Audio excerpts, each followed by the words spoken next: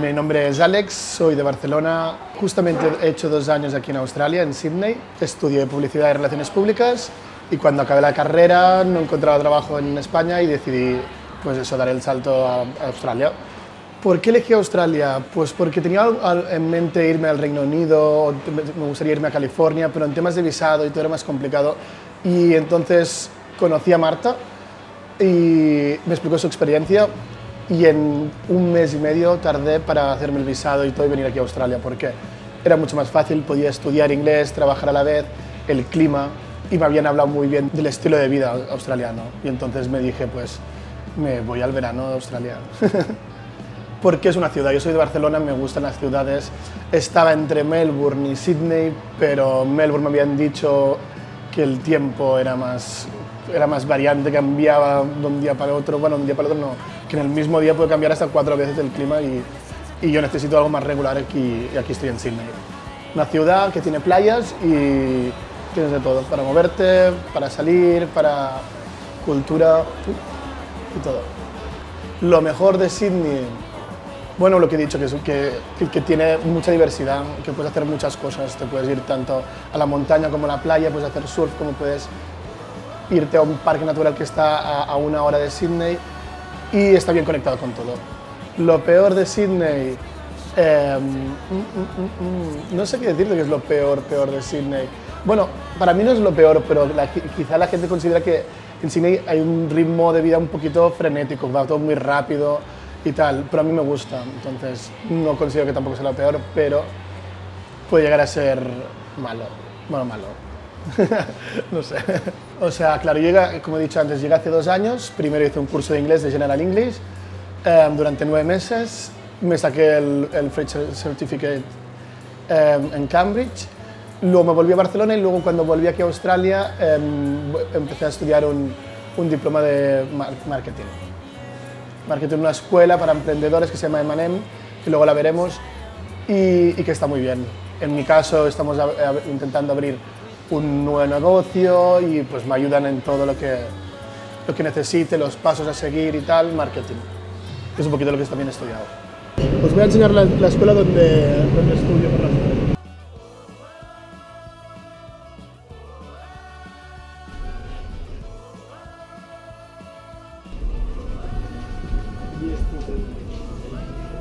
Qué guay, ¿no?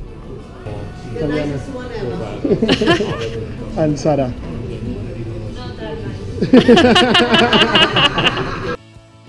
aquí cuando hacemos clases, a veces nos reunimos aquí con los sofás, tal, no sé qué, tenemos los proyectores, tenemos diferentes salas. Y bueno, que es muy, es muy, muy easygoing, es muy libre y cada uno puede hacer lo que quiera y trabajar y estudiar en el espacio que quiere y donde se sienta más cómodo.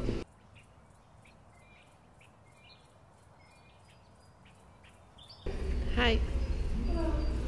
Qué guay es. Aprendes más vocabulario, aprendes, em, bueno, aprendes a redactar también de otra manera más, y ya no solo una, carta, como puedes hacer en el curso de inglés, una carta para, o escribir un email. Aquí son cosas de redactar un trabajo en inglés aprendes más. Estoy estudiando marketing en inglés, en otro país, que entonces esto creo que me, va a servir de cara al futuro si vuelvo a España. Los proyectos que hacemos los podemos presentar, hacer un pitch off y si ganamos nos, nos dan dinero para invertir en nuestro proyecto. Qué guay, ¿no? O sea, una competición que puedes ganar hasta 4.000 dólares para invertir en tu proyecto. Mm, buena pregunta. A ver, es diferente la educación aquí, básicamente porque aquí cuando vas a la escuela compartes con mucha gente de otros países. En España solo vas a clase con españoles. Y, claro, esta es la gran diferencia, que tienes que adaptarte a las culturas. Las otras culturas son clases un poquito más, em, con, más diversidad. En el caso de mi escuela es mucho más práctico porque estamos poniendo en práctica nuestra propia idea de negocio. Entonces, es todo muy práctico. Trabajamos en un caso real que es el nuestro y tenemos trainers que nos enfocan y nos ayudan a, a desarrollar la idea. Yo en la, en la escuela, cuando, cuando, empecé a estudiar inglés, iba casi cada día, de lunes a jueves, porque necesitas ir, porque si quieres aprender inglés es lo que hay que hacer, apretarlo. pero ahora voy tres días a la semana, martes, miércoles y jueves. Y voy por las tardes, porque por las mañanas trabajo en un café donde estamos. Los martes sobre todo hacemos teórica, los miércoles cuando tienes más rato para estar con, con tu trainer, él te guía y los jueves los enfocamos más para hacer el, el assessment, ¿sabes? Es para, el assessment es el trabajo final de la, de la, semana que tenemos que entregar cada semana. Estos son las, los horarios de las clases, las asignaturas, de las, las, la asignatura de marketing, la de management y dentro de cada una tienes las diferentes. Y cuando se hace, como os he dicho, los martes se hace más teoría, práctica, portfolio task y los y las opciones que tienes para esto. Trabajos, bueno, yo empecé en este café ahora dos años trabajando en la cocina, limpiando platos. Estuve durante tres meses limpiando platos. O sea, en la cocina, pam, pam, pam, pam, platos, platos, platos, y, luego, una vez ya cogí un poquito de experiencia, has trabajado en algún sitio, sabes el idioma, pues yo me dedicaba a la hostelería, que es lo que encontraba que se adaptaba más a mis, a mis necesidades, porque yo quería aprender inglés rápido, entonces pensé que en la hostelería sería mejor por el tema del inglés y practicarlo. Luego también estuve trabajando en un restaurante, al principio pues llevando platos, luego acabé siendo bueno, el camarero principal, el head waiter. Y bien, luego también estuve, es que he trabajado en muchos cafés. estuve en otro café aprendiendo, aprendiendo a hacer cafés, barista, que es un trabajo que está bastante bien valorado aquí. Algún anuncio de televisión, luego estuve trabajando en un festival también una vez, pero todo eso fue muy, muy esporádico. De promo, staff también, promoción y, y tal. Pero bueno, mi carrera se enfoca aquí en Australia. He estado haciendo hospitality, o sea, hostelería. Entre semana, pues el sueldo oscila entre los 18, 20, 22, depende del sitio donde trabajes la hora. Y luego los fines de semana sí que cobras bastante más. O sea, a cobrar pues hasta 27 un, un sábado y 40 un domingo. Perfectamente la hora, claro. Y igual que los public holidays, o sea, los días de fiesta también se cobra más lo que digo es siempre tener morro. Ir a preguntar, no cortarse para nada y ir directamente a preguntar por la persona responsable, por el manager y presentarse con una sonrisa, sobre todo la sonrisa aquí es muy importante y que te vean con ganas de trabajar. Puede que no hables muy bien el inglés, puede que no hables el inglés, pero si tú tienes una actitud buena y positiva y piensas que eso, es, eso trabajo es para ti, creo que lo puedes lograr. En plan, buscarte por Gumtree. Gumtree es, una, es un website para buscar trabajo, alojamiento, para vender, comprar bicicletas, todo. ¿vale? En Gumtree hay muchas ofertas de trabajo. Cuando ves una oferta de trabajo en Gumtree, ir corriendo directamente al sitio de quien le está ofreciendo. Esa es la manera de presentarte, ir con tu currículum en mano y decir, soy tal persona y quiero este trabajo. Yo creo que es la mejor manera de buscar trabajo y encontrarlo. Bueno, depende de lo que te guste, depende de lo que te guste. Ahora que viene el veranito, barrios buenos para encontrar trabajo es Bondi Jackson, porque hay muchas cosas, pasan muchas cosas, pero luego tienes toda en la City, tienes Surrey Hills, Darlinghurst, que está muy bien en, el sentido que hay muchos restaurantes, muchos cafés que abren, tienes Paddington, luego barrios más, más cercanos, pero por la otra parte tienes Glebe, que Glebe, el rollo de Glebe también mola mucho, tienes millones de cafés allí, los sábados siempre hacen un, un market y se llena, la City City, porque la City siempre hay movimiento durante todo el año. Entonces tienes cafés, tienes tiendas, de todo.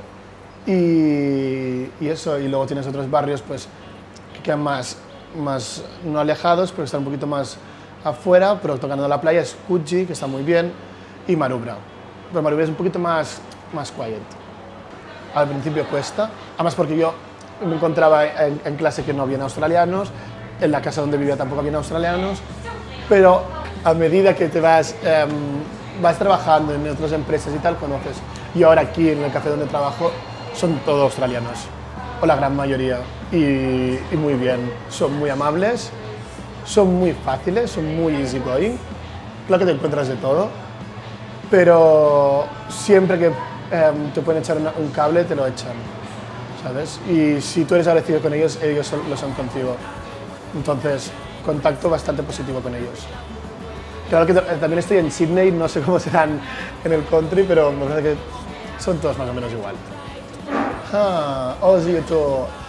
Mi trabajo como colaborador es ayudar, dar apoyo a los estudiantes que vienen aquí a, a Australia, en este caso a Sydney, y yo soy esta persona de contacto que tienen ellos nada más llegar para ayudarles a hacer lo, lo principal y lo básico que es eh, ir a hacer el teléfono móvil, la tarjeta SIM, la cuenta bancaria y abrirles un tax file number, que el tax file number significa es el número para poder trabajar en Australia. El trabajo empieza un mes antes, cuando nos ponemos en contacto, lo primero que hacemos es eh, decirle al estudiante dónde puede encontrar un backpacker para dormir. A partir de allí, pues también cómo llegar a la ciudad, cómo, ¿sabes? Ideas básicas, tips para, para que él no se encuentre un poquito perdido cuando solamente llegar aquí a, Sydney. ¿Qué tiempo hace? Eh, ¿Cuánto, cuánto dinero se tienen que traer? Tema medicamentos, están todos asustadísimos con las aduanas. Y yo, claro, después de estar dos años aquí, y a mí te lo planteas y una vez llegas aquí ves que todo es mucho más fácil. El tema a veces es después, cuando ya están aquí, qué cosas me preguntan. ¿Sabes? Que me he encontrado en situaciones bastante divertidas como...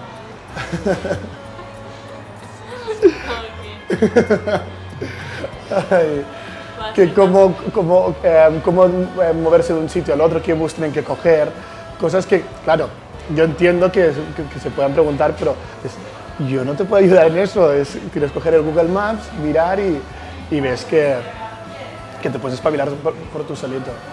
Y yo estoy aquí para ayudarlos en, lo que pueda, pero no puedo hacerlo todo por ellos, porque ellos deciden venir aquí a Australia y, al final es su aventura, su experiencia y la tienen que vivir ellos solos.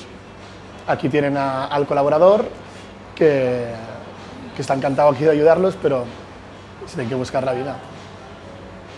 Porque no les voy a dar trabajo yo. venir sin, sin, prejuicios y que al principio la primera habitación que tendrás aquí será, no será la que tú esperabas, no será la mejor habitación, pero a, me, a medida que vas haciendo inspections, es decir, que vas viendo casas, habitaciones, vas a encontrar cosas mejores. Ir a por todas, ir a mirar, preguntar tener, y tener morro, o sea, no cortarse un pelo porque aquí, aquí quien no corre vuela. Entonces, si viene uno, a mí es lo que me pasó la primera la primera vez que estuve buscando alojamiento, vi unas casas, unas visitaciones que decía, no me lo puedo creer. Ofrecieron la habitación de Harry Potter debajo de las escaleras llena de moscas y dije, perdona, me voy. ¿Sabes? Me voy. Pero bueno, a la segunda vi una, una habitación que estaba mejor y a la tercera encontré una habitación que se adaptaba a mis necesidades. Una um, habitación individual, una casa que compartía con bastante gente, pero que parecían todos majos y allí fue mi primera casa y estuve al final ocho meses y luego pues fui saltando. Y ahora me encuentro que tengo una habitación grande para mí solo, donde pago 250 a la semana, que está todo incluido. Y entonces es un, un buen deal porque más o menos está al lado de la City, en Darlinghurst. Los precios varían durante la temporada. Ahora que empieza la temporada alta me estoy encontrando que los estudiantes tienen que pagar un poquito más de lo normal. Pero los precios para compartir habitación oscilan entre 150, 200, 220 si te vas a vivir a Bondi Beach, compartiendo habitación con otra persona.